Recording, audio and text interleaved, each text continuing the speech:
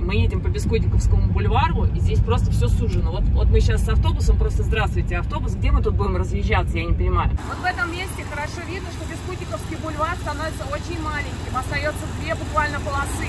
Непонятно, как будут разъезжаться машины, здесь будут постоянные пробки. Как может власть так бордюры? Перекладывают, отмывают деньги и кладут криво. И куда вода-то будет уходить? Они все разрыли, а ливневки где? Вообще ни одной, посмотрите. Куда будет вода уходить? Здесь нету, там нету. Была трава, здесь все сняли, по, весь слой травы сняли. Вот здесь вот не огорожено, здесь копают огромная яма, а рабочие не загородили этот опасный участок, это нарушение.